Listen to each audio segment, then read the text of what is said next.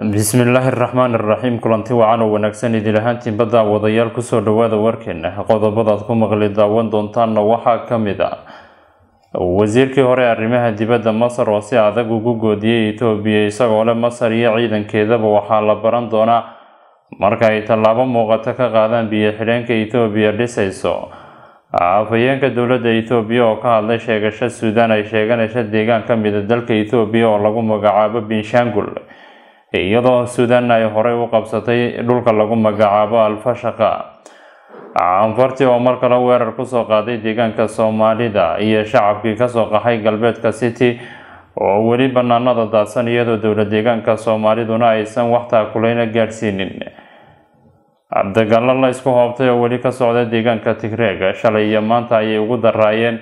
waxaana idinla wadaagaynaa xogihii ugu dambeeyey midooda yurub oo gebi ahaanba la laabtay kormeerayaashoodii doorashooyinka ka dhacaya dalkaasi etoobiya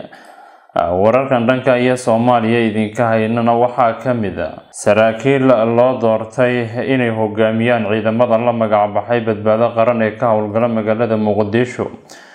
iyo ra'iisul wasaare rooblo oo magacaabay guddi ay ku jiraan mucaaradka si ay xal uga gaadhaan magaalada xiisadaha ka taagan magaalada muqdisho intaasi waa qodobadan idiin hayna kuwa ugu doorka roon haatanna ku soo dhawaada isagii oo faahfaahsan. Aan ku bilownay wasiirkii hore arrimaha dibadda ee masar maxamed alorobi ayaa sheegaya in etoobiya iyo caalamkuba si dhaba u fahmi doonin ilaa iyo intaa ay ciidamada masar iyo suudaan awood buuxda ay tusinayaan inay u leeyihiin inay ka hortagaan ama baajin karaan khatar kasta oo soo food saarta xuquuqahooda dhanka biyaha master orobi ayaa waxa uu ku doodayaa in golaha ammaanka ee qaramada midoobay ay soo kala dhexgeli doonin muranka biyo xidheenka ee masar iyo suudaan kala dhexeeya etoobiya ilaa iyo laga arkayo xiisada oo faraha ka sii baxaysa oo qarka u saaran dagaal caalamkuna uu u boqo amniga gobolkaasi. Waxaa kaloo uu maxamed orobi ku doodayaa in maadaama oo diblomaasiyadii la soo waday tobankii sane ee ugu dambeysay lagu doonaya in xal looga helo khilaafka biyo xidheenka aan wax natiijaha laga gaadhin dhibaato kuma jirta buu leeyahay in markani qaahire iyo khartoum ay u jeesadaan dhinaca muujinta awoodahooda wasiirkii hore arrimaha dibadda ee masar waxa uu sheegayaa in heshiiska milatari ee masar iyo suudaan dhex maray ay wax badan etoobiya ka fahantay kuna ogaatay heerka ay gaadhsiisan tahay sida masar iyo suudaan ay uga soo horjeedaan in lagu xadgudbo xuquuqahooda ay leeyihiin ee dhanka biyaha naylka ciidamada etoobiyana waxaa la sheegay inay shalay gudaha u galeen gudaha suudaan. Ciidamada ayaana waxay ku hubeysnaayeen gaadiidka dagaalka noocyadooda kala duwan ilaa iyo toban kilomitir ayayna gudaha u galeen dalka suudaan. Ciidamada etoobiyaanka oo isugu jiray milatari iyo maleeshiyaad ayaa xidhay waddooyinka muhiimka ah ee isku xidha gudaha dalka suudaan waxayna etoobiyaanku ay qabsadeen dhowr tuulo oo soo xiga dhanka xadka labada dal waa suudaan iyo etoobiya waxaana la kala dhahaa meelahaasi ay qabsadeen alkurdiya forest iyo sidoo kale kombe yemen oo ku yaalla galbeedka alfashaqa sidaan ka soo xiganay warbaahinta suudaan tirabun xiisada u dhexaysa labada dal ayaa hawada isku sii shareeraysa xaaladda ayaana faraha ka sii baxaysa iyadoo muddooyinkii ugu dambeeyeyba dagaalo adag ay ku dhex marayeen xuduudda kala qaybisa suudaan iyo etoobiya inkastoo indhawaalaba ay dansaneyd ama ay yaraatay isku dhacyada iyo dagaalada tooska ee labadaasi dhinac ku dhex marayay xuduudda. Haddana maalmahan ayaad moodaa inay dib u soo cusboonaatay xaaladaasi colaadeed dhanka kalena etoobiya ayaa si adag uga hadashay khilaafka xuduudda ay la wadaagta suudaan oo mar kale xoogeystay. Suudaan oo dhowaan qabsatay ee dhulbeereedka alfashaqa ayaa haddana ku doodeysa inay iyadu leedahay goobta laga dhisayo biyo xidheenka etoobiya ee binshaangul gumus ambasador dini mufta ayaa damaca suudaan ku tilmaamay mid xaqiiqada ka fog oo aan saliya raad toona lahayn. Dhanka kalena dini mufti ayaa ka hadlay go'aanka midooda yurub oo uga laabtay kormeerayaashii doorashooyinka ethoobiya wuxuuna dini mufti sheegay in midooda yurub ay isku dayeen inay soo farageliyaan xaaladda ethoobiya siba doorashada oo aan weli dhicin taasi oo aysan xaq u lahayn waa siduu hadalka u dhigay. Faahfaahiino ayaa ka soo baxaya dhanka iyo dowla deegaanka soomaalida. Haddii aan eegnana dagaal ay canfartu maanta mar kale ku soo qaaday galbeedka gobolkaasi city ciidamada canfarta ayaa maanta soo weeraray shacabka soomaaliyeed ee galbeedka city jab xoogan ayaana la soo gaarsiiyey dagaalka ayaana laba qeybood ka dhacay dhinaca cadayta iyo sidoo kale dhinaca tuulada lagu magacaabo tarayna dagaalka ka dhacay dhinaca cadaytu waxa uu ka cuslaa dagaalka ka dhacay dhinaca tarayna. Waxaana khasaaro badan dagaalkaasi lagu gaarsiiyey maleeshiyaadka ilka fiiqanta caanfarta. Ciidanka caanfarta ee soo weeraray shacabka soomaaliyeed ee deganaa tuuladaasi taranya.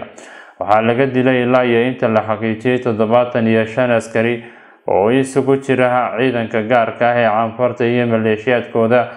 Dhinaca soomaalidana khasaaro wuu jiraa balse caanfarta ayaa ka khasaaro badan saddex askari ayaana caanfarta looga qabtay dagaalkani ka dhacay tuuladaasi tarayna dagaalka ka dhacay dhinacaasi iyo cadaytu ku dhowaad labaatan askari ayaa halkaasi looga dilay ciidamada caanfarta ee weerarka ku soo qaaday dhaawac badan ayaana loo geystay. Shacabka soomaaliyeed ee dagaalkaasi ku dhintay iyo kuwa ku dhaawacmayba waxaa la keenay galbeedka candhuufta halkaasi oo lagu aasay wixii dhintay wixii dhaawac ahaana halkaasi lagu dabiibayo dhanka kalena dadkii horey uga soo barakacay dagaalada ka socda galbeedka city ayaa weli daadsan hareeraha magaaladaasi cadaytu waxaana la sheegay in ilaa iyo haatan aysan gurmud lafle gaarsiinin xukuumadda dowla deegaanka soomaalidu. Islamarkaasina ay weli halkaasi qaxooti ku yihiin iyadoo aan deegaanadoodiina weli lagu celinin. Dhanka iyo tigreega haddii aynu eegnana dagaalo culus ayaa ilaa iyo shalay ka socday gudaha gobolka tigreega ee waqooyiga etoobiya dagaalada u dhexeeya jabhadda t b lf iyo dowladda dhexe ee etoobiya ayaa ka soo dagaalada u dhexeeya jabhadda t b lf iyo dowladda dhexe ee etoobiya ayaa ka socda bartamaha tigreega iyo koonfurta tigreega khasaare baaxad leh ayaana ka dhashay dagaaladani t b lf ayaa sheegaysa inay dileen boqolaal askari oo ka tirsan milatariga etoobiya iyo kuwa eritrea ee ku sugnaa magaalada lagu magacaabo hawsen ee ku taala bartamaha gobolkaasi tigreega waa siday hadalka u dhigeen dhanka kalena sagaal dhanka kalena sarkaal sare oo ka tirsan milatariga etoobiya ayaa sheegay in toddobaadkii ugu dambeeyey ay dileen saraakiil sarsare oo ka tirsan xoogaga t b l f oo ku dhumaaleysanayay buu yidhi buuraleyda deegaanka tigreega midowda yurubna waxay gebi ahaanba la laabteen kormeerayaashoodii doorashada lixaad ee dalka etoobiya ka dhacaysa joseph berlin oo ah midowda yurub u hadlay ayaa sheegaya in wax laga xumaado ay tahay in golaha midowda yurub uusan helin damaanad qaad rasmi ah oo ay ku kormeeraan doorashada lixaad ee etoobiya waa go'aamo qoomamo leh inaan heli weyno damaanad qaadka waxyaabaha la xidhiidha kormeeridda xaqiijinta doorasho xor iyo xalaala taasi oo ay ugu muhiimsan yihiin qalabka kormeerka ay la soo degi lahaayeen dhanka ammaanka iyo badqabka kormeerayaasha maadaama ay doorashooyinkani imanayaan xilli ay xaalad amni ah oo qeybo ka mida dalka etoobiya liidato ayuu yidhi joseph borlin midowda yurub ayaa diyaargarowga doorashooyinka ku bixiyay adduun lacageed oo ka badan labaatan milyan oo yuuro. Tallaabadani golaha midowda yurub ayaa ah dhabarjabkii ugu weynaa ee xukuumadda abiy axmed. Xilli bixinta kaararka codbixintuna ay ka socdaan inta badan goobaha doorashooyinka ee dalkaasi etoobiya. Haddii aynu intaasi uga soo gudubno wararka dhanka etoobiyana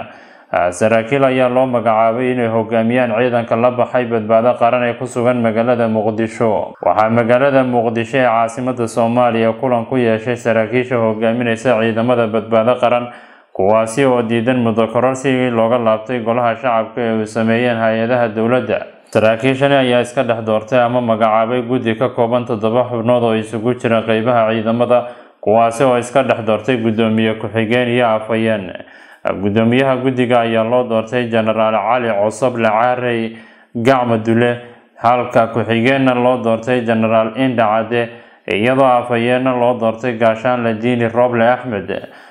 Guddigana ayaa la magacbaxay ciidanka badbaado qaran waxayna ku jira ragga khubro ah. Xubnaha ku jirana waxaa ka mid a jenaraal cabdimaalik ismaaciil taliyihii hore ee ciidamada danab korneyl sane cabdulle korneyl cusmaan xudaale iyo jenaraal saadiqe john xoogtaan helayna ayaa tilmaamaysa in guddigani ay la kulmi doonaan ra'iisul wasaaraha soomaaliya maxamed xuseen roble. Islamarkaasina ay kala hadli doonaan go'aanada ay xalay ka gaadheen muqdisho.